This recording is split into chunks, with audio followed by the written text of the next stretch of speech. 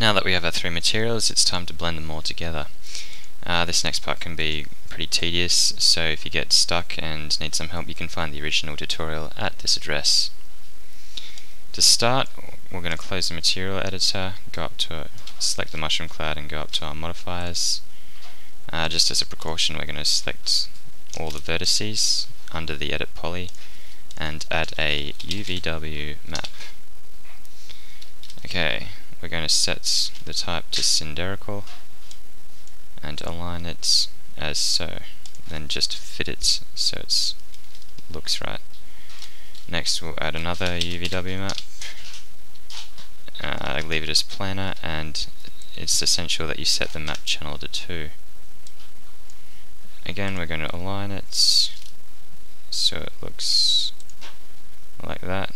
Then fit it and everything is pretty good. Okay, now that we have our two UVW maps, we're going to add a blend map. Um, set that as blend, discard the old material, name it mix mat 4, and for our two materials we are going to instance mcloud1 and mcloud3. You should hopefully see it change in the viewport. Set the mask as interactive, the grade uh, and set gradient ramp. Um, turn show and viewport on and make the gradient nice and tight by adding another node and putting them really close together. Now this is what we have in the viewport which isn't what we want to see, we want it to be up and down uh, so we'll go up here and edit change one of the angles to 90 that's exactly what we want and take a look at what it looks like in the render. Okay, so this is looking pretty good at the moment. Uh, if your materials are the wrong way around, all you need to do is go back to Mixmat 4 and swap them around. But that's not an issue at the moment. Okay, um, we're going to add a second blend.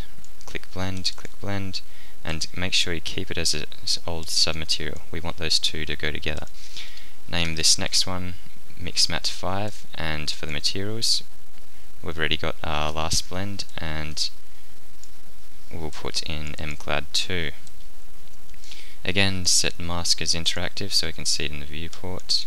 Set the gradient ramp again. Turn on that again. Go down. Make it nice and tight again. But this time we're going to set the gradient type to radial radial. Alright, this is what it's looking like in the viewport, which isn't exactly what we want. So, remember that second UVW map we made? Yeah, that's where this comes in handy. Set the map channel to 2, and yeah, that's looking much better. I'm just going to edit the ramp, put it in a bit closer, give it a bit more blend, and check it out in the render. Okay, so this is what we got upon rendering it. As you can see, they're switched the opposite way around. That's not an issue, just go back into Mixmat 5 and swap them. Voila! Excellent. Righty-o. Okay, now it's time to get some animation done. Uh, I might just set up an environment quickly.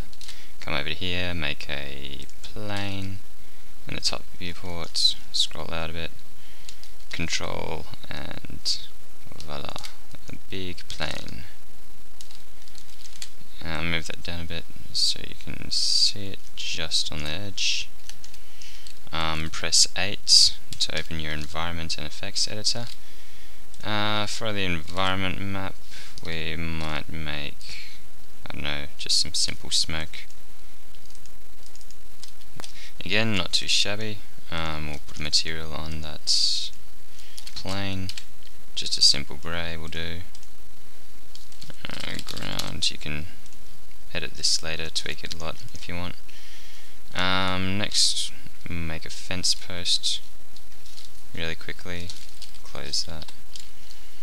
Uh, front, this is meant to be front. And make it rectangle make a few rectangles. Uh, didn't need to start a new shape. Convert those both to splines and attach them.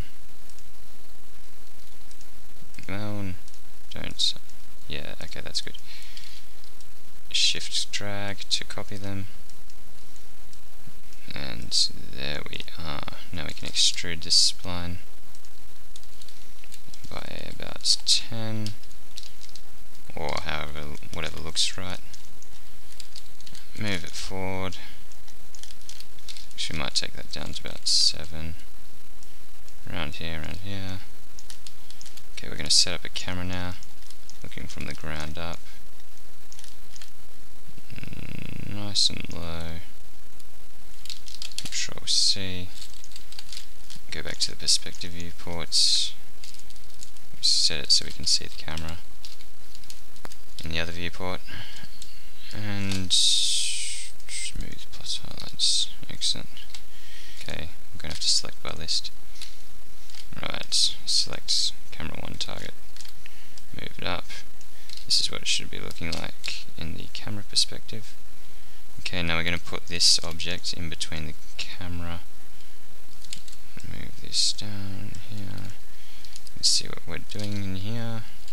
Might scale it a bit. Yeah, move it down, around, rotate. This is just a really basic environment. Might add a push modifier, make it a bit smaller, sleeker. Negative oh, five. I think no, it's not a percent. Negative one three. That's good.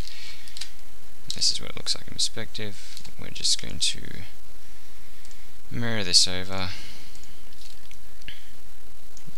Um,